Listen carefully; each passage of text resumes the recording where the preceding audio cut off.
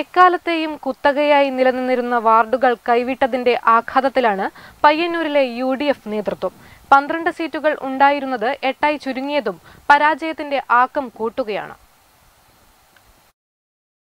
പയ്യന്നൂരിൽ പല മേഖലകളിലും യു ഡി എഫിന് വ്യക്തമായ ആധിപത്യമാണ് ഉണ്ടായിരുന്നത്.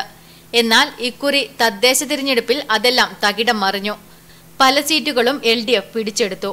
ലീഗിന്റെ ശക്തികേന്ദ്രമായിരുന്ന പെരുമ്പ ചിറ്റാരിക്കോവൽ വാർഡുകൾ എൽ ഡി എഫിന്റെ കയ്യിലായി.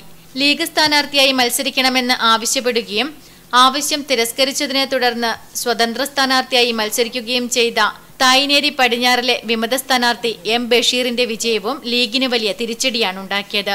കോൺഗ്രസിന്റെ സിറ്റിംഗ് സീറ്റായ കണിയേരി തായിനേരി വെസ്റ്റ് അന്നൂർ കിഴക്കേക്കോവൽ വാർഡുകൾ എൽ പിടിച്ചെടുത്തു.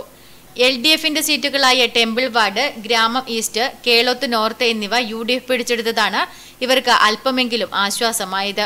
എൽ ഡി എഫിന്റെയും യു ഡി എഫിന്റെയും പ്രമുഖ സ്ഥാനാർത്ഥികളും പരാജയപ്പെട്ടവരിൽ ഉൾപ്പെടുന്നുണ്ട്.